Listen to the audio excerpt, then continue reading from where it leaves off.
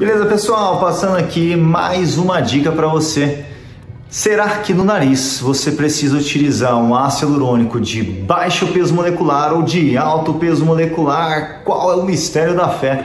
Então vamos conversar um pouco sobre isso nessa dica aqui, nessa golden dica, né? dica de ouro. É o salto de lobichano para você. Mas então, produtos de baixo peso molecular, você acaba precisando de maior quantidade para ter uma mudança na topografia da pele do seu paciente. Então, para eu projetar o nariz, arrumar aqui uma giba proeminente ou elevar o ângulo nasolabial, você precisa de uma maior quantidade. Isso é péssimo no nariz. Quanto mais medicamento você coloca, aumenta-se o risco de complicações por compressão né, vascular. Então, nesse caso, você precisa perder o medo de uma vez e começar a trabalhar com medicamentos que tenham um peso molecular maior, para que você tenha segurança. Mas, Diogo, como assim?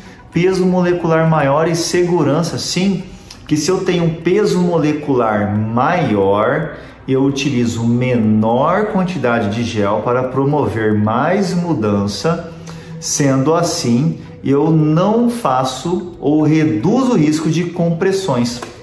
Por exemplo, coloquei 1 ml porque a questão que você tem que pensar é volume de gel injetado e não necessariamente se ele é mais denso ou menos denso.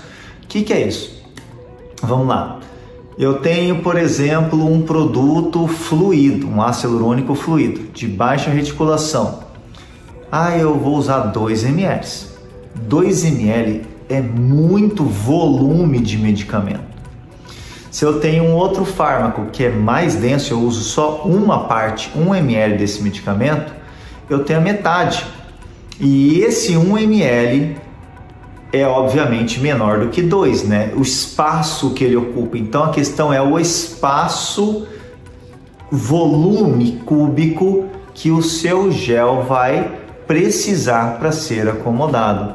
Quanto mais volume cúbico injetado, mais riscos de compressão.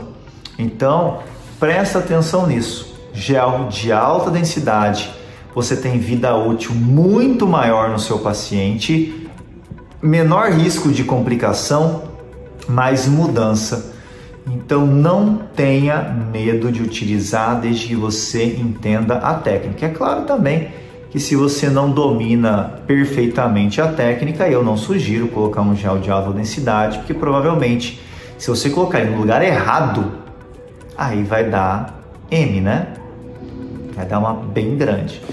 Porque alguns colegas colocam um produto, por exemplo, fluido na pele aqui, ó, da columela. Aí o gel denso nessa região vai ser muito problema. Ele pode, você trabalha com ele na columela? Sim, mas entre as cartilagens alar. Você vai estar entre elas e não na pele de superfície. Então você tem que realmente dominar a técnica para conseguir trabalhar com um produto mais denso. A vida inteira eu fiz nariz com produto de alta densidade, mas tem que ter bom senso, porque os colegas às vezes estão acostumados a trabalhar com produtos fluidos, 2 ml de uma única sessão, e quando passam para de alta densidade querem usar a mesma quantidade. Aí é um grande problema. Então, se você não se sente preparado para fazer isso, não faça, porque vai estar tá errado. A evolução vem com o tempo e se você quiser realmente aprender como faz isso, é só continuar com a gente aqui nessa caminhada que você vai poder aprender muito mais e realmente dar um salto na sua profissão. Até a próxima dica.